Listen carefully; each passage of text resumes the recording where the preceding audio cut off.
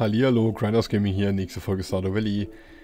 Ich habe angekündigt letzte Folge, dass wir heute in die Mine gehen, radioaktives Erz und Quibohnen suchen. Das machen wir auch, aber zuallererst jetzt, bevor wir irgendwas machen, gehen wir zu Jodie und beschenken sie, damit ihr Geburtstagsgeschenk gleich weg ist. Und dann machen wir den Hof. Also wir gehen noch Energietoniker holen bei Harvey, falls er schon offen hat. Äh, und dann gehen wir los. Wo ist er denn? 9 bis 15 Uhr. Oh ja, da sind wir aber arg früh dran hier. Hui. Ich glaube nicht, dass der schon wach ist. Äh, ich habe geguckt. Wir brauchen, wenn ich richtig geguckt habe, zwei Stück radioaktives Erz. Ja, für alle Crafting-Rezepte. Also es gibt zwei Crafting-Rezepte mit radioaktivem Erz. Das heißt, zwei Öcken davon und wir haben es. Ein Geburtstagsgeschenk? Das ist sehr nett von dir. Ich liebe es. Vielleicht habe ich die Jungs ein wenig zu verwöhnt. Wenig zu verwöhnt. Sie mussten, sie mussten sich nie um die Hausarbeit kümmern.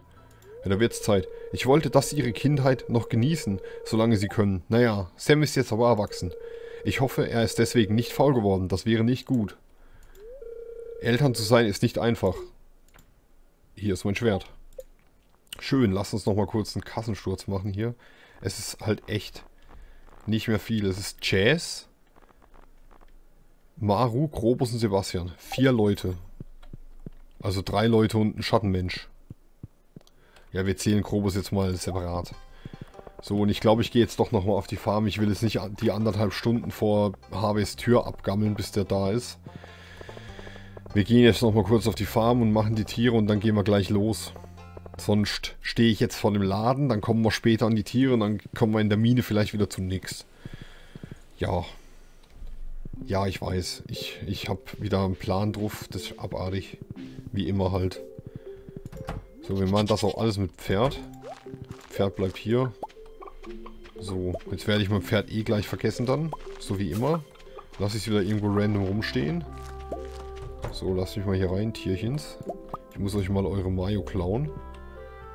So, das hätten wir erledigt. Das Volksfest ist auch bald, aber ich habe ja meinen Trick mein Trick 17 schon fertig. Der liegt ja hier drin in der Kiste. In der Kiste da. Ja. Ups. Das wollte ich nicht. So, jetzt. Äh. Zack, zack, zack, zack, zack, zack. Das ist hier äh, Fließbandarbeit, Massenabfertigung. Wie in der konventionellen Landwirtschaft. Ne? Nee, natürlich nicht. Seid ihr wahnsinnig? Sowas machen wir nicht mit den armen Tieren. Ups. Dann gehen wir raus. Das Pferd stellen wir mal hier hin, damit ich es hier vergessen kann. Da steht es besser. So. So ein Autostreichler ist schon was Praktisches, hätte ich mal behauptet. Ich weiß zwar nicht, wie der die Tiere da unten in der Ecke streichelt, aber er tut seinen Job. Das ist schön. Das ist sehr, sehr schön. Exquisit ist das. Ich habe Schattenei mitgenommen. Perfekt. Können wir gerade nochmal rüber wackeln. So, Menschenskinder. Heute läuft's wieder, ich sag's euch. Das Einzige, was heute läuft, ist Nas. So, kann man gucken aus dem Fenster. Ich glaube, der Regen kommt. Ja, ich nehme die Folge am gleichen Tag auf wie die vorherige von gestern, weil ich Zeit habe. Mache ich ja öfter, wenn ich Zeit habe. Ist ja auch halb so wild. Äh, es soll immer noch regnen. Ich hoffe es. Ich hoffe es sehr. Die Natur kann es gebrauchen, aber definitiv. Der geht's gerade gar nicht gut. Ist übel. Wir haben hier teilweise auf den Feldwegen Risse, die sind so groß, da kann man bald drin umknicken. Und das Eis nur, was der, weil der Boden so staubtrocken ist. Es ist einfach nur, es ist einfach nur übel. Obwohl wir so ein nasses Frühjahr hatten. Es hat ja echt überall geregnet im Frühjahr. Das war ja nicht mehr schön. Aber ja. Wahrscheinlich gibt es da wieder so ein entweder Sturzflut mit Überschwemmung hier oder so halb, halb fertig Fünf Minuten und dann ist alles vorbei. Das ist natürlich auch nichts Schönes. So. Entschuldigung, mein Hals. Wir werden noch verrückt mit dem Hals, ich sag's euch. So. Ja, das mit dem Böhnchen läuft. Wenn das so weitergeht, muss ich noch ein paar Sprinkler auspacken. Wir sollten vielleicht mal die erste Fuhre dann irgendwie gedenken abzugeben oder zu behalten. Aber ich muss auf jeden Fall noch vermehren. So. Ich hätte jetzt die, Zelda, die Felder zählen können. Die Zelda fehlen, genau. Die Zelda fehlen, die Zelda fehlen. Der Kerl wieder, ich sag's euch. Ich hätte die Felder zählen können, dann wüsste ich, wie viel Saatgut ich brauche und wie viel ich behalten kann. Aber wir haben unten ja noch Platz für Felder, deswegen machen wir einfach munter weiter. Wir werden jetzt auch eine von den Früchten behalten. Äh, eine werden wir behalten für die Nähmaschine. Die nehmen wir mit ins Haus. Ja. Ich habe übrigens gestern die Preiselbeeren vergessen, ich hält. Ich habe noch gesagt, ich will Preiselbeeren mit reinnehmen. Wie viel brauche ich? Vier, dann nehmen wir acht mit. So, passt. Nehmen wir auch mit rein ins Haus. Jetzt müssen wir da mal echt bald zu HW, sonst kann ich wieder kein Energietonikum kaufen, Mensch. Ich werde schon mal anpflanzen hier unten. Damit wir rumkommen. Ja, das sieht schon mal nicht schlecht aus hier. Das ist, glaube ich, eine sehr gute Ausbeute, wenn die Felder werden. Ich glaube, das ist auch eine gute, eine gute Menge an Feldern, um Quiebohnen zu züchten. Horst Manfred, äh, ruhig bleiben. Ruhig bleiben, sonst wird es nichts. Du Held. So. Etzele. Etzala. Ja, ab jetzt werden wir Felder zählen und alles, was Überschuss ist, wird behalten für Verkauf. Weil wenn ich jetzt noch mehr hier hin pflanze, dann pflanze ich, pflanze ich, pflanze ich, pflanze ich und pflanze ich und pflanze ich noch mehr. Eins fehlt. Und dann pflanze ich, bis ich umfall und habe äh, erst nichts erreicht. Mit Quiefrüchte abgeben und so, ne? Deswegen lassen wir das gut sein. Das sind genug Felder, glaube ich. So, zack, die lassen wir auch mal hier auf Lager. Jetzt holen wir hier noch das Golderz raus. Da schmeißen wir alles in die Kiste und dann müssen wir echt los. Wenigstens hat Jody ihr geschenkt. Jody ist fertig. Jetzt habe ich die Preiselbeeren hier mit reingeschossen. Mensch, ins Kino, nochmal der Kerle. Und mein Pferd habe ich auch da unten vergessen. Das muss ich auch noch holen. Ich habe es genau gewusst. Ich habe es genau gewusst. Zum Mäusemelken mit mir. Unglaublich. Ja, die Kühe schreien auch schon. Die wissen auch, was für ein Spezi ich bin. Tut mir leid, Mensch. Ich kann nichts dafür. War schon immer so. Äh, stopp. Lehm habe ich noch. Lehm habe ich. Das, ups, äh, nein. Gemischte Saat behalten wir nicht. Tschüss. Gut. Jetzt geht's los. Also fast, ich muss noch schnell einen Kühlschrank. So, mit den Preiselbeeren. Zack. Und die Frucht schmeiße ich auch mal da dazu, damit ich wieder dran denke. Preiselbeeren kommen von der Liste. Perfekt. Jetzt haben wir noch Süßkartoffeln und Kürbis. Und dann fehlt halt echt nicht mehr viel. Ich glaube nur noch die Winterwurzel. Und der Tintenfisch, glaube ich. Doch, der Tintenfisch fehlt da noch, aber sonst haben wir alles. Ja, das geht echt ruckzuck, Mensch. Holla, die Waldfee, hätte ich gesagt. Damit die auch mal wieder erwähnt wurde. Die arme Holla, die darf man nicht vergessen. Die alte Waldfee. So, jetzt hoffe ich echt, dass, dass da was geht in der Bude. Bitte, Brauchst du den Arzt? In anderen Teilen der Welt ist es gerade Frühling. Stell dir das mal vor. Ich will nicht wissen, ob Frühling ist. Ich möchte Energietonikum kaufen, gute Frau. Ist das... Oh wow, Horst Manfred, das haut mich um.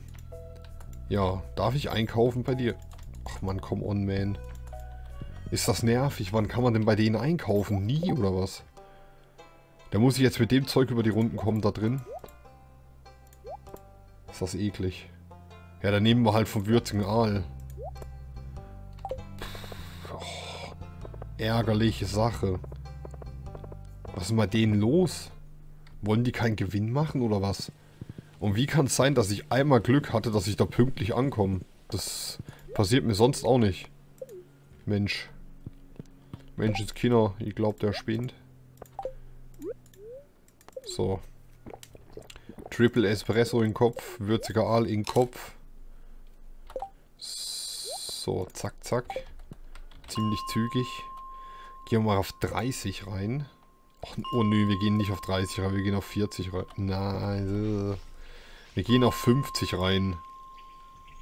Ist das besser? Wahrscheinlich nicht. Nee, nicht wirklich. Ich, hey, ich mag die Spinnen nicht. Wir gehen auf 60 rein. Es ist immer noch so doof, oder? Ja, klasse. Ja, da gehen wir wir bleiben drin. Das Problem ist halt, dass hier so viel Larifari-Zeug rumliegt. Bomben habe ich auch fast keine mehr. Oh no. Gut. Kommando zurück. Stopp. Wir gehen gerade noch Bomben kaufen. So, du bist kein, Skorp kein Spion der Schattenmenschen, oder? Ich wollte Skorpion sagen. Du bist kein Skorpion der Schattenmenschen. Ich behalte dich im Auge. Das sagt er, nachdem wir Best Friends geworden sind. Äh, hallo? Bin ich doof? Ah, jetzt geht's. Falsche Taste benutzt. Klasse. Schön. Damit das auch mal geklärt wäre. So, jetzt gehen wir da rein auf Ebene 70. Perfekt. Genau das, was ich wollte. Zum Glück habe ich mir gemerkt, oh, oh, oh, auf welche Ebene wir müssen. Geh mal her, das Zeug. Ja, liebe Leute, dann wäre die Folge für heute beendet. Wir haben unser radioaktives Erz gefunden, ist doch schön. Was will er mehr? Es läuft hier am Schnürchen. Ups. Magier, hör mal auf. Junge, Junge, hör doch auf, du. Knillig. Nee, wir suchen jetzt noch äh, Quibohnen. Dafür sind wir ja eigentlich hier. Da hinten ist doch mehr radioaktives Erz. Was ist mit mir los heute? Warum habe ich so ein Glück? Na komm, lasst jetzt mich doch bitte in Ruhe. Ich will nicht mit euch spielen, doofe Fledermäuse. Wo ist denn das Erz hin? Habe ich schon eingesagt. Sechs Stück habe ich. Ja gut, wenn das nicht reicht, weiß ich auch nicht. Oh Mann.